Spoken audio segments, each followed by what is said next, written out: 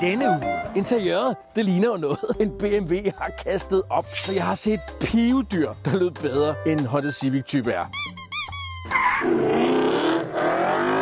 Den sjoveste GT i 2019. Hvordan ved jeg allerede det, spørger du så? Fordi jeg gør. Nej, fordi jeg simpelthen ikke kan se, hvilke bilfirma, der skulle være i stand til at matche vinderen her. Så god er den nemlig. Det kunne være Honda Civic Type R.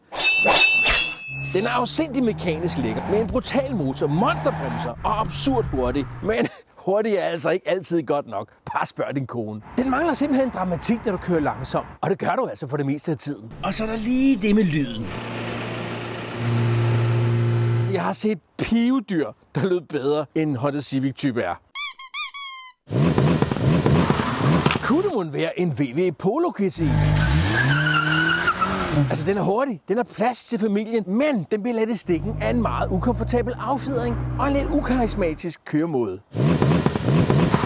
Det kunne godt være den her, Golf GTI Club Sport. Den er knivskarp, lettere end Golf R. Og du har det her super lækre, slanke Alcantara-ret. Den er næsten lige så hurtig som Civic Type R, men den har mere finesse, og så er den sjovere, når du kører langsomt.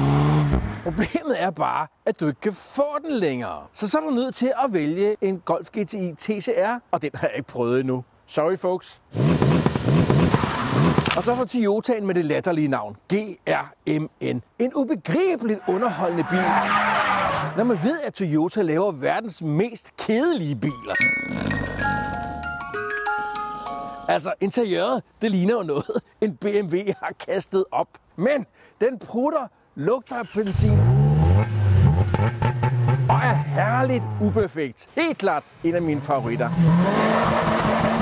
Men det er heller ikke den. Ja, jeg ved godt, der er flere af dem. Der er A-klasse AMG, som har lidt samme problem som Honda. Der er Leon Cupra, men Ford Focus RS er sjovere. Og dens problem er dens lillebror. Den her satan.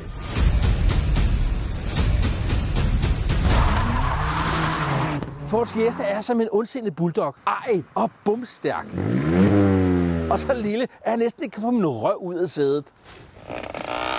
På papiret virker den her 1,5 liter 60 motor ikke er noget særligt, men den er bumstærk, og så lyder den helt fantastisk. Den er nærværende, den er kontant, og den er sjov, også når du kører langsomt. Og det er det, det handler om. Ikke ligegyldige banerekorder. Og så er den bare rigtig billig af en GTI at være. Den står i 266.000 med tre døre, eller 272 med fem. Og så har du bare at lægge ca. 15.000 kroner ekstra og tilkøbe to ting. Performancepakke med spær og det lækre bioanlæg med 10 højtalere. På minussiden Ja, jeg ved ikke rigtig, hvad det skulle være. Udover bagsædet er så lille, at der ikke er plads til svigermor. Og det er vel egentlig ikke noget rigtigt problem. Ups, et glimt en. Hyundai i30N. Den er lynhurtig, den er dramatisk, den buller, den støjer, den er underholdende. Men den her er mere underholdende.